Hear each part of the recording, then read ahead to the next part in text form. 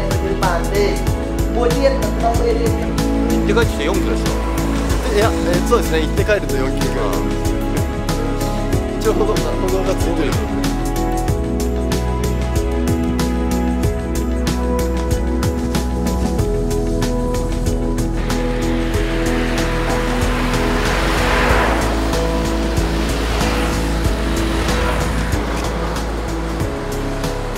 人の流れが変わるね。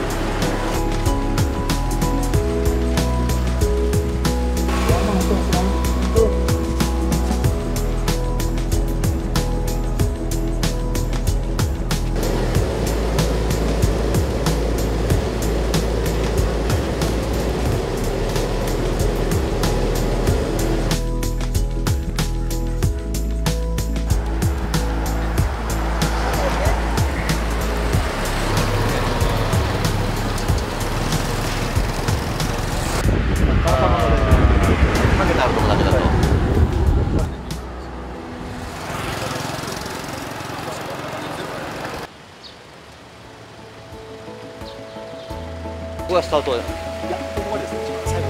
最後。ここは廊下地で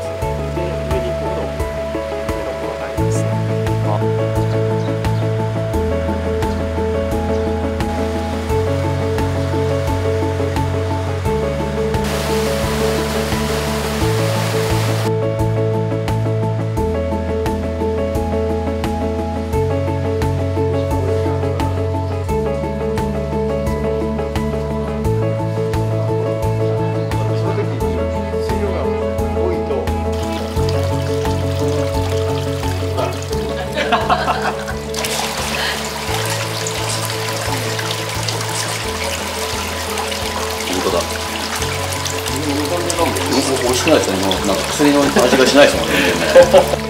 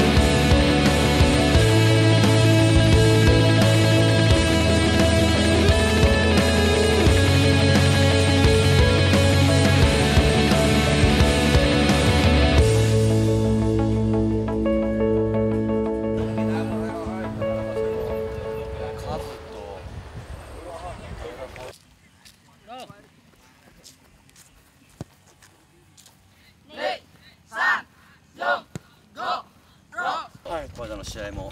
はい。ね、そこまでインパクトが与えて、はい